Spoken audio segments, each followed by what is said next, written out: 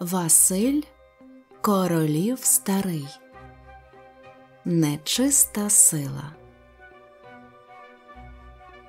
Було це в 1920 році. На Лисій горі під Києвом ще з ранньої весни почалася жвава робота. Місцеві чорти будували нову велику світлицю. Хухи обкладали її мохом, блискучими мушлями, сосновими шишками та іншими оздобами. Відьми підмітали подвір'я, посипали піском чи порили стіни. Лісовики садили нові дерева, рясні кущі та чудові квіти. Мавки пололи квітники, гарненько розстилали барвінок, підбирали чорнобривці, підв'язували кручені паничі та високі повні рожі.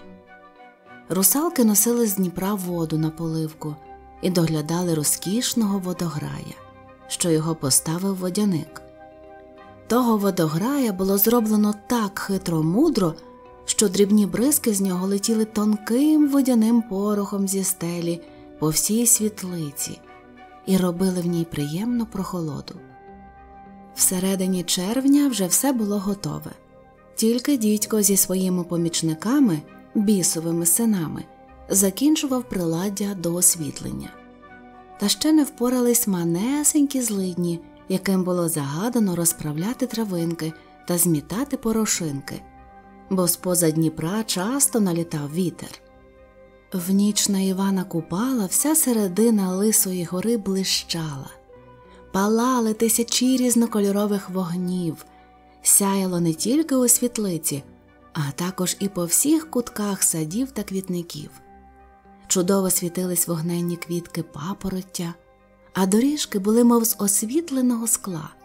Так виблискували вони ніжним синьо-жовтим сяйвом чистої, свіжої порохні. Опівночі зі всіх сторін почали злітатися гості. Кого тут тільки не було, бо ж це мали бути незвичайні щорічні збори. Було то велике, урочисте зібрання всієї невидимої сили з усіх кутків світу, тобто Міжнародний конгрес. Так принаймні говорили наймудріші вчені чорти. Крім місцевих українських чортів, одягнених в пишні, старовинні, різнобарвні козачі жупани, відьом в шовкових та єдвабних контушах і дорогоцінних очіпках, вовкулаків в синіх чумарках широкими солом'яними брилями, водяників, лісовиків, упирів, чудових мавок та русалок, гарнесеньких, пухнатих хух і тому подібних сил, прилетіли на зібрання у великому числі представники, яких тут звали панами-делегатами різних чужоземних сил. Були тут молоді, красні юнаки диви з Персії та їхні друзі джини з міста Мазандерана.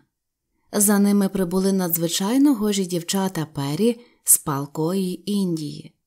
Потім з'явилися маленькі тролі та ельфи з прозорими крильцями. Вони поприлітали з Німеччини та Швеції. Далі прибула ціла ватага струнких чепурних леді Шотландії, корігани та нічні прачки з Франції. Потім з Чех приїхав найстарший водяник Гастерман в супроводі цілого почту з шотеків та з кшитеків. За ними, мов блискавка, з'явився знаменитий польський чорт Борута з водяницею гопланою. З другого боку підлетіли італійські відьми, сумні, бліді стріги та веселі балакучі бефани. Та хіба ж їх можна всіх перелічити? Вони летіли й летіли без кінця краю, а між ними метушилися найрізнорідніші елементалі саламандри, ундіни, сильфи, бородаті маленькі гноми. До кожного меншого гостя було приставлено по одній хусі. Вона допроводжувала новоприбулого на його місце в залі і лишалася при ньому до послуг. Значнішим гостям прислужували мавки й русалки. Меткий перелесник означав місця, а дитинчата потерчата роздавали гостям програми засідання та розносили всякі солодкі заморожені ласощі. Насамкінець прилетіли найповажніші духи гуд з Кавказьких гір та старий престарий пан з Греції. З ним прибула сила жвавих фавнів та веселих сатирів. Ще пізніше з'явилися почесні пані, цариця Рейна, німкеня Лорелея, чеська мелюзина, трьохока грекиня Геката, оточена трьома старими парками. Коли вже всі сиділи на призначених їм місцях, сусіднього кришталевого залу відчинилися двері. Два струнких молодих чорти, вбрані в блискучі козацькі шати, повільною ходою вивели під руки найстарішого і найповажнішого на Вкраїні чортового діда Вія. Він був у темно-синій довгій киреї, обшитій золотим галуном. Сиві, довгі козацькі вуса спадали мало не до пояса, на якому брящала оздоблена дорогоцінним камінням шаблюка. В руці тримав золоту, сяючу вогнями булаву. Довгі, довгі вії затуляли йому очі. Тихою ходою вій підвівся на підвищення, все навколо вмить замовкло. В залі стало так тихо, що чути було, як в садах шелестіли листочки, як дихала трава, як шепотіли пелюстки квіток, як витікали з них пахощі. Вій не сів, а стоячи запитав Прибули всі запрошені? Майже всі, ясновельможний пане, відповів йому старий вусатий біс. Нема тільки зимовиків, як, наприклад, дюді тощо бо їх не можна влітку добудитися. Нема з Африки та Австралії представників, шановних дурдалів та діємеїв, бо там ще не почалася ніч, і вони вилетять пізніше. Нема тут мани та потороч, яким я звелів стояти навколо гори і не допускати сюди непроханих. Та не знать, з якої причини ще й досі не прибув єврейський хапун. Всі інші тут, в залі. Добре, Починаємо засідання. Підведіть мені вії. Молоді чорти його осавули, обережно підвели йому вії. Старий бистрим поглядом оглянувся по залі і дзвінким, чистим голосом, зовсім молодим, що бринів, як струна на чолі, промовив Всіх присутніх представників невидимої світової сили щиро вітаю. Прошу до мого столу високоповажних та дорогих гостей, пань Гекату, Лорелею, Мелюзину та панів пана й Гуда. Всі запрошені вмить опинилися за столом. Ви знаєте, світлі збори, чого ми зійшлися сьогодні на нашій славній землі, почав говорити Вій але вже тепер він промовляв не так, як сказав перше привітання. Спочатку він говорив, як звичайно говорять люди, тепер же почав інакше. Невидима сила, розмовляючи між собою, не вживає слів, вона тільки думає, а той, до кого вона звертається, бачить всі ті думки. Тому найдовша промова триває всього якусь єдину мить. Така була й дальша промова старого Вія. Він говорив про те, що земна, повітряна і водяна невидима сила не може далі терпіти кривди та образи від невдячних людей, бо люди вважають її за нечисту силу, собі ворожу, вони по-дурному бояться її, наклепують на неї всякі дурниці та небилиці, накидають їй найогидніші вчинки. Вони раз у раз лаються поміж собою найменнями чортів, відьом та інших невидимих сил. Все це дуже, дуже нам тяжко терпіти, говорив Вій, коли перекласти його промову думку на звичайну людську мову. Тяжко не один раз, а тричі тяжко, бо несправедливо не відповідає дійсності й безтямно. Найгірше ж те, що люди, безнастанно ганьблячи нас, тим часом запевняють, що ми зовсім не існуємо. Жодний чорт не може слухати без сліз, як вони раз у раз повторюють, що нас не було, нема і не буде. Бо ж тим просто нас, живих, вони кладуть у домовину. Правда, гірка правда, мов одні груди зітхнули тисячі присутніх, а старий дідько аж схлипнув. Плакала також і чортова матір. Так от, панове, на нашій славній землі, на землі, де живуть люди, про яких чужинці говорять так само, як вся людність про нас, мусимо ми знайти спосіб добитися від людей правди. Мусимо підвести тим незрячим їхні вії.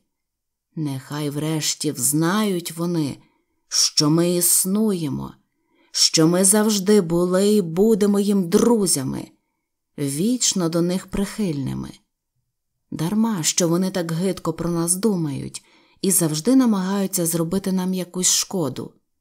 Так, так, загукали присутні.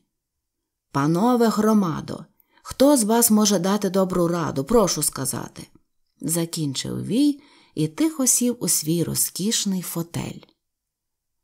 По залі пробігло тихе шепотіння. Всі дивилися на мудрого гуда та хитрого боруту, чекали, що вони скажуть. Коли це біля входу в зал почулася якась метушня. Всі повернулися до дверей і вгледіли на порозі хапуна. Його обличчя було перелякане з під ярмулки, котив рясний піт. Новий оксамитовий лапсердак був притрушений курявою. Він став просто перед вієм і тремтячим, немов козлячим голосом промекав. Пробач, батьку, сталася зі мною несподівана пригода. Що значить несподівана? Можливо, що дуже важна пригода, батьку. Говори, слухаємо, махнув рукою Вій. Тоді хапун почав розповідати, що коли він вже летів сюди, то спіткав під синагогою в Кременчуці дуже дуже вбогого єврея.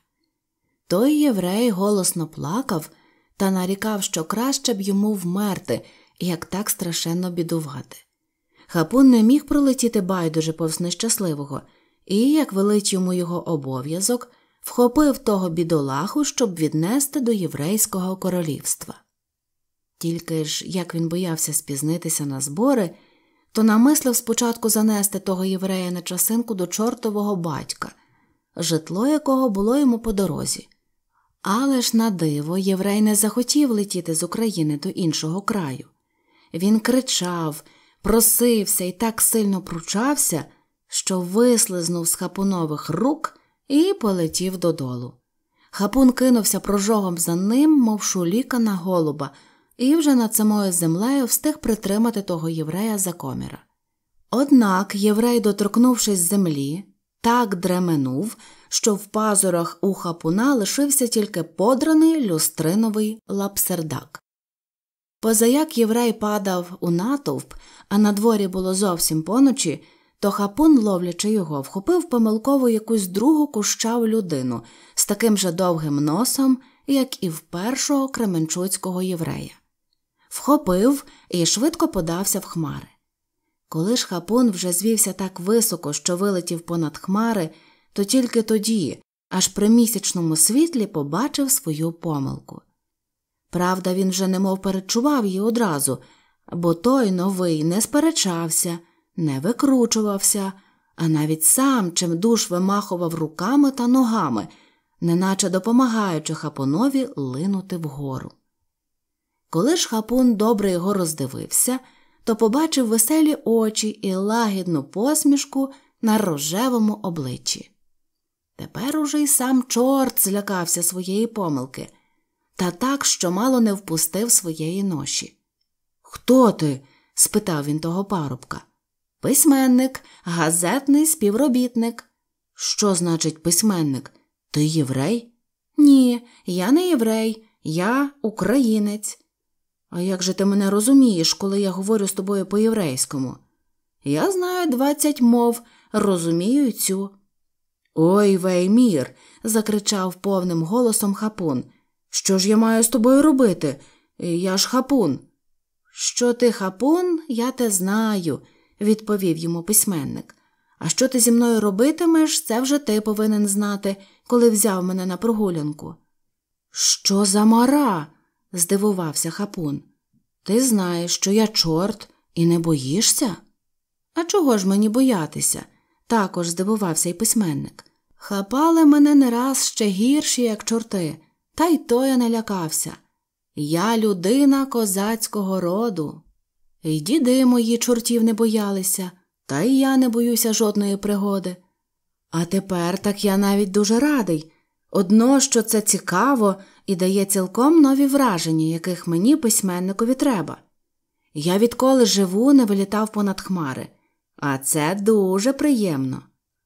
Але ж хапун вирячив очі, як теля на нові ворота, ляпав вухами і рішуче не знав, що ж йому робити з цією дивовижною людиною. Пустити її додолу він не міг, бо парубок, напевне, б розбився, а тоді б загинула людська душа, чого ще ніколи через жодного чорта не траплялося. Нести його до єврейського королівства також було не можна, бо там приймали тільки самих євреїв. Вертати назад було пізно, бо хапун знав, що він вже й так спізнився на засідання на Лисій горі. У чортового ж батька було темно. Видимо, той вже давно був на зборах. Що ж казати? Слухай но сюди, озвався знову хапун. Так ти й справді не боїшся того, що ви люди звете нечистою силою? Ха ха ха, засміявся письменник. То ти хочеш, щоб я побожився? Про мене і не гніваєшся на мене? Тю-тю на тебе, чорте, та посоромся нарешті. Повинен же ти мати розум. Я ж тобі щиро кажу, що дуже тобі вдячний за повітряну подорож. Тепер, як верну додому, то враз почну вчитися на літакові, бо я вже знаю, що це зовсім не страшно. Ти знаєш що, парубче, сказав тоді хапун. Сьогодні всесвітні збори невидимої нашої сили на Лисій горі. Я вже через тебе спізнився і не можу далі розводити з тобою теревені, хоча ти мені й дуже до вподоби. Лишається одне дозволь мені віднести тебе туди, а перед світом я донесу тебе назад, куди ти сам схочеш. Тільки одна умова ти сидітимеш там, де я тебе посаджу, і мовчки чекатимеш, поки я прийду за тобою. Про мене я згоден, відповів письменник. Тільки й у мене буде до тебе одне прохання даси мені там паперу й атраменту та шкляночку чаю з цитриною. То, поки ви там радитиметесь, я напишу свою чергову статтю до газети. На тому вони й погодились.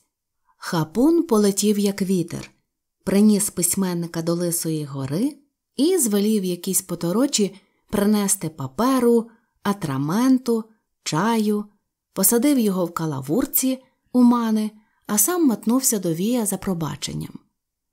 Всі вислухали хапуна з величезною цікавістю. Чекали тепер, що скаже йому Вій. Але ж Вій не сказав хапунові й слова, тільки звернувся до зборів. Панове громадо, ви чули хапунову пригоду. Мені здається, що випадково це може бути нам на користь. А що, якби цій людині дати певні припоручення? Що ви на це скажете, мої панове? Першим озвався Гуд, старий дух Кавказу. Говорив він з придихом, як звичайно говорять кавказці. З того, що розповів нам кунак хапун, можна гадати, що той письменник людина варта довір'я. Коли він козацького, тобто лицарського роду, то він дотримає слова. А коли він нічого не боїться по дурному, як звичайно робить більшість людей, то, певне, згодиться якийсь час пожити межи нами. Довідавшись про наше життя, вдачі та чини, може своїми книгами виправити одвічну помилку людей відносно нашого брата. Нехай же йому допоможе Аллах, а ми так само мусимо допомогти йому якнайбільше. Тоді попрохав слова знаний польський чорт Борута. Всамперед запитаю вельможного колегу пана хапуна, почав він, ввічливо кланяючись. А як та людина одягнена? По панському чи по хлопському? В одежі панській, а в білизні селянській, має вишивану сорочку жовто-синьою стяжкою. Тоді Борута повернувся до зборів і сказав Світлі збори, прекрасні пані, ясновельможні панове, видко, що то не пан. В противному разі я був би дуже обережний. Увесь свій вік я маю діло виключно з панами і ще не здибав жодного, котрий би не силкувався мене одурити. Людина ж, що носить вишивану сорочку зі своєю національною одзнакою, то добра людина. Тим-то я радив би запросити сюди того пана письменника. Всі інші згодились на тім одноголосно. Приведіть сюди людину, звелів тоді вій. До залу вступив письменник. Очі його заграли захопленням, коли він угледів таке дивне видовисько, блиск, пишноту, розкоші. Він виступив на середину, чемно вклонився старому вієві, а потім всім присутнім і щирими словами привітав збори. Шановна людино, звернувся до нього Вій, пильно його оглядаючи. Скажіть нам, що ви думаєте про невидиму силу? Тільки прошу вас говорити коротко, не як ваші люди, бо ми не маємо часу на балачки. Я думаю, мої панове, що жива невидима сила, котра населяє землю, воду і повітря, мабуть, подібна на електрику, що ми, люди, звемо громовиною. Ніхто з нас не бачив самої електрики, але всі знають її властивості блискавицю, грім, світло, силу. Для всіх, хто вміє з нею як слід поводитись, вона пожиточна. Хто ж не знає, як з неї користуватись, той має тільки шкоду. Так я міркую й про невидиму силу. Знаменито, славно. загули всі в залі. Чи не згодилися б ви, пане письменнику, пожити деякий час з нами, бути нашим милим гостем? Ви б побачили на власні очі наше життя і працю, а потім могли б написати цікаві людям і корисні нам книги? запитав знову Вій.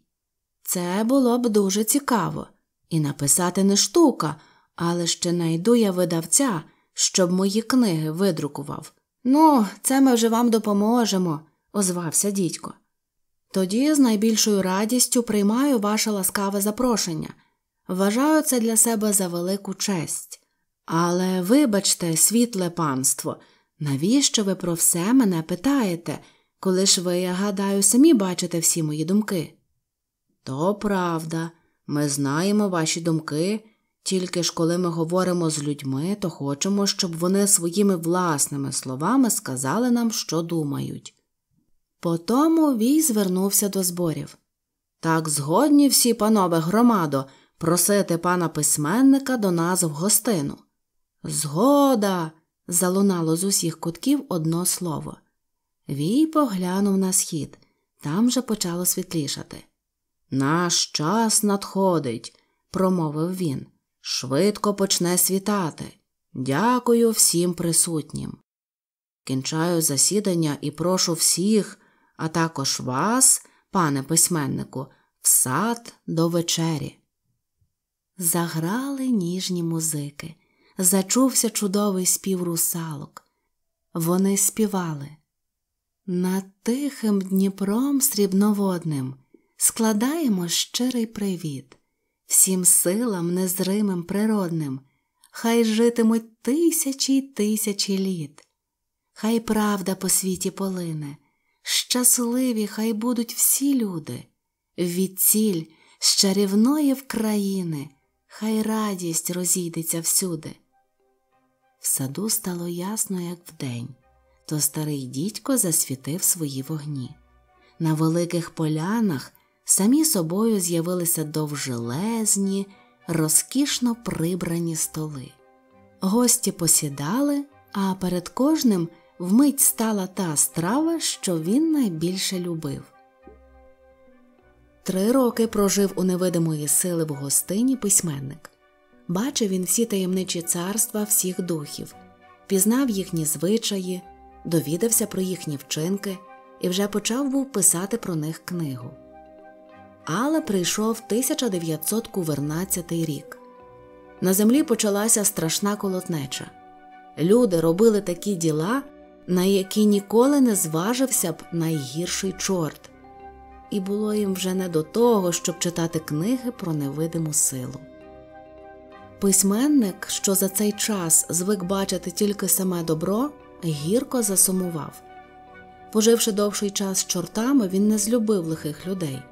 Прийшов він до Вія і почав його просити, щоб той зволів однести його до безлюдної африцької пустині, до найстарішого і наймудрішого Сфінкса. Вій радо пристав на його бажання. І от, перед тим як письменник мав відлетіти до Африки, він на часинку забіг до мене, бо ми з ним були товаришами і колись писали вкупі у одній газеті. Коротко він розповів мені багато цікавого своїх вражень за останні три роки. Розповідав він так швидко, як чорт, через те я багато дечого не зміг затямити. Однак дещо я пам'ятаю і посписував у цій книзі. Тільки не за все твердо ручуся, бо ж на власні очі я нічого того не бачив, то й можливо, що часом десь трохи помилився. Та дарма, коли мій товариш видасть вже свою книгу про невидиму силу, тоді вже ви й самі побачите, в чому я помилявся. А до того ж часу будете знати принаймні хоч трохи правди про ті створіння, що невидимо живуть обіч з нами та нам допомагають. Кінець